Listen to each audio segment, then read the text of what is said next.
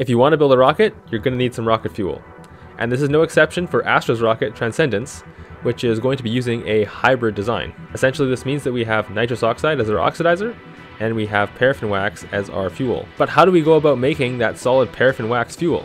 It seems like it should be simple, after all paraffin wax is just candle wax, but it turns out it's a lot more complicated than that. But no need to fear, we've now mastered the process, and we're going to share all the juicy secrets of how we did it coming up. If you think back to last summer, you may remember that Astra actually attempted to build a paraffin wax fuel grain already once before. Unfortunately, the paraffin grain that we produced was not exactly usable. It was very patchy and splotchy and super brittle and definitely not usable as rocket fuel. I don't know what this is supposed to be. So we had to go back to the design board in order to figure out why exactly this happened and what we could change about the way we're manufacturing the paraffin wax in order to make sure that we have a satisfactory result in the next iteration. One problem at a time, boy. The first problem we had had to do with the rotation. So you can see here that we don't really have an even surface along the paraffin wax grain in our first trial. And this is because we weren't actually generating enough centrifugal force in order to force the paraffin wax to the edges of the tube that we're spinning the grain in. If the centrifugal force inside that tube exceeds the gravitational acceleration of the paraffin wax inside the tube, then basically what will happen is it'll create a new level, which will be a perfect circle along the inside of the tube diameter. If you remember back to our trial in the summer, we actually had a huge problem with motor overheating, and essentially we lost the ability to use the motor, so we were basically just hand spinning it. So in order to get more rotation, we basically just needed a bigger motor. And of course, with the switch to more power, you also need more structure. So we actually needed some bigger adapters and gears in order to transmit the force from the motor to the tube in a way that was controlled. The solution for this upgrade was to just use a belt drive, which had a 1 to 3 ratio. So we had 3000 RPM on our motor and 1000 RPM on the tube. But there's one other issue with spinning that fast, which is that now you're actually generating a lot of force on the tube, which could become a bit of a problem for structural integrity. After all, we are spinning this inside of a PVC tube, which of course gets a little bit softer as it gets hotter, so we decided that we needed a way to shore up the structural integrity of the tube. And to do this, we basically just created the casing, which was made out of fiberglass. Of course, if you've been following the structures team at Astra, we've actually gotten quite good at winding fibrous materials around mandrels, so it seemed natural to give the structures team one more job of winding another tube, which would be benefiting the propulsion team for making this propulsion grain. The next problem that we had with our previous contraption was actually the stability. Now that we've upgraded to the bigger 2 kilowatt motor, it's kind of important that we actually are able to contain all of that energy, so we had to upgrade that wood stand to an aluminum one. Unfortunately, this means there's a little bit more energy in order to make the stand because you can't just like screw a bunch of wood planks together. But the benefit that it confers through stability is really advantageous, so definitely worth the effort. Finally, if you remember back to the paraffin wax grain that we made before, it was actually super brittle. So it didn't really have a lot of plasticity, and if it was chipped or hit or anything, it basically would just crumble apart. So to solve this problem, we had to actually address the chemical formula that we're using in order to make the paraffin wax grain. Before we were using paraffin wax and a little bit of powderized cement, but that actually ended up just making the paraffin wax really brittle. So in order to solve this, we're going to actually not add the powderized concrete anymore, and instead we're going to try to add some plasticity by adding some hot glue gun sticks to the paraffin wax. What? Bro, what are you talking about, man? This is actually an idea that was suggested by Jamie Anderson, which is one of the subscribers to our channel. So just goes to show you that if you have some good ideas about how we should approach things, sometimes they actually end up being the best idea to pursue. But let's see if this recommendation actually worked in the end. And go.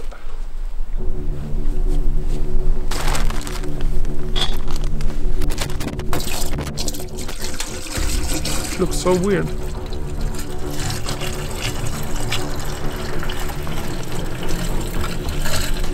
I'm under a bit of pressure.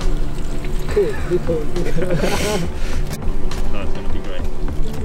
Okay, lid, lid, lid. Lid goes on now. Lid now. Be ready, guys.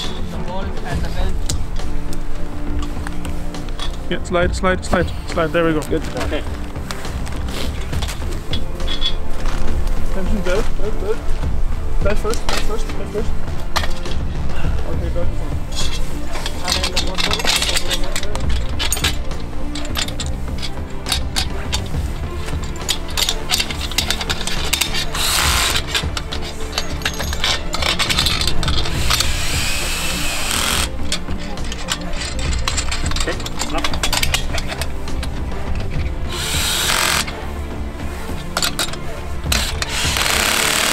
Bearings? Yeah.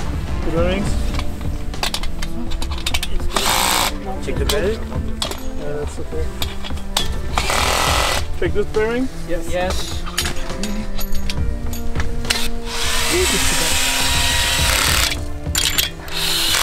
Check the bearing.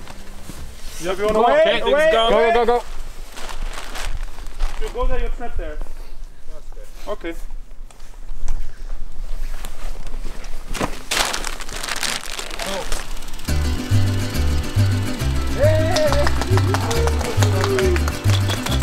No, no, no, no, no, no, no. No, no. Yay! Keep talking. What is what's the video? I think we need to keep some weight over here as well. Yeah. Put, put some weight over here. Do we have something, something other with weight? Big and heavy. Use those bags. These are uh, Yeah, those are 10 kilos, I think. Uh, these ones. Ah, Yeah, yeah, yeah. Just, just, just grab one over your shoulder. That's the fastest way. It's just dirt, yeah? Okay.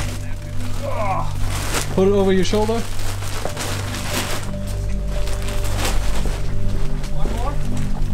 One more. Yeah, get one more. Yeah, boss. Okay. Yeah, everything.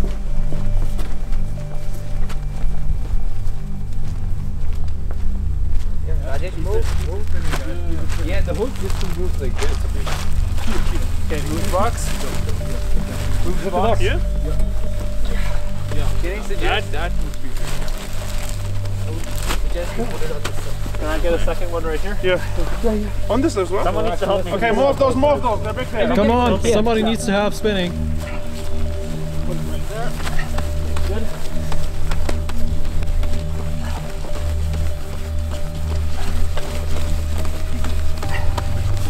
You're starting? No, no, no. Are they coming? Yeah, they're coming. Oh, it's nice and warm. Yeah, it is.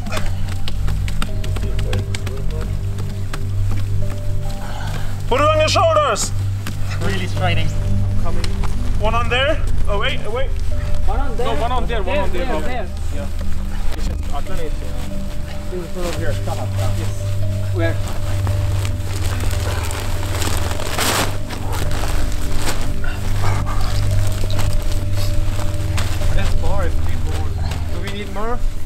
Good. Don't do more. Okay, away, away. Turn it on, turn it on, turn it on. Switch.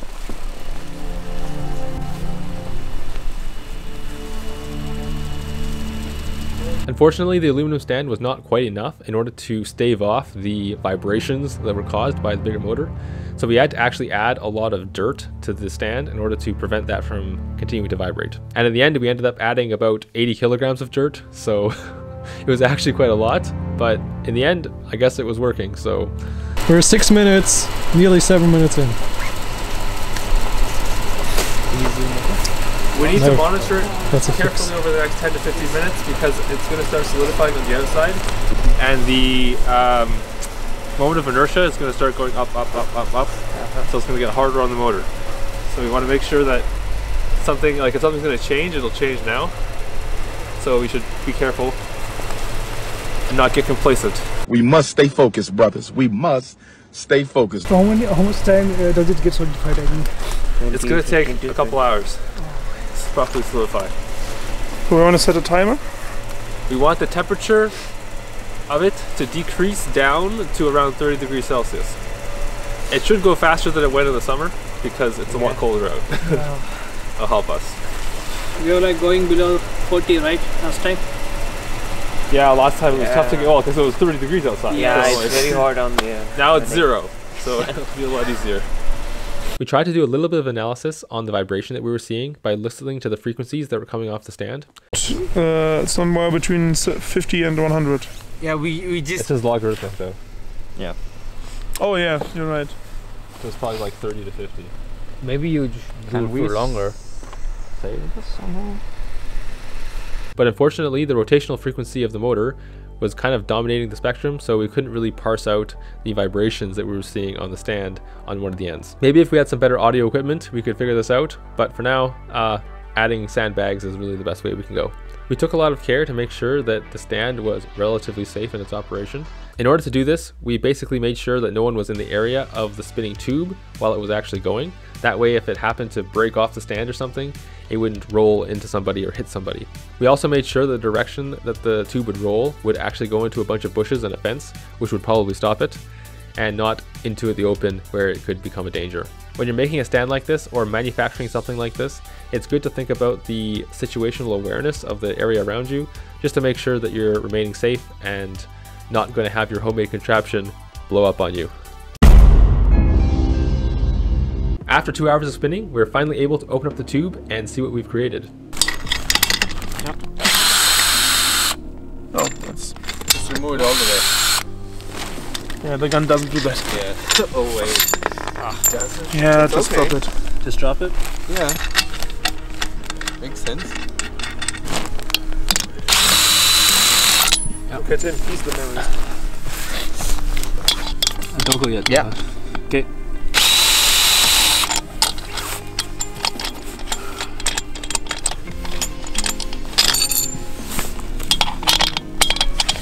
Go. Oh, Oh, oh really? It comes off. okay. Just pull, just pull. Hey! Look at this! look at this Look at this! We are propulsion engineers. Yes! Woohoo! Would you look at that? This that? is this is awesome. This is like It's exactly smooth. perfect. What? Wait, check this temperature inside. Oh yeah, that too. Gorgeous. Beautiful. 3.6. Yeah. Yeah, it's good. Totally co- uh, uh, Whoa, that's smooth as. wait, I wanna feel that. Feel it. You can see here that we have a perfectly smooth surface on the paraffin wax, and it's perfectly cylindrical. This is just because our RPM was high enough in order to generate the centrifugal force that would keep that cylindrical shape while it was spinning. It was also really nice that the cold weather kind of helped us in cooling the paraffin wax down a lot quicker. It only took about two hours, whereas in the summertime it was taking us a lot longer, and we actually still had the inside of the tube somewhere near 40, 45 degrees. But here it went all the way down to three degrees in just two hours, which is absolutely fantastic. Nice. So there you have it. Astra has finally completed our first paraffin wax fuel grain. It's only a matter of time till we plug this into a propulsion test stand and light her up. If you have any questions about how we manufactured this paraffin wax fuel grain, or any ideas about how we could improve, be sure to leave them in the comments below. And remember, to expand your horizons,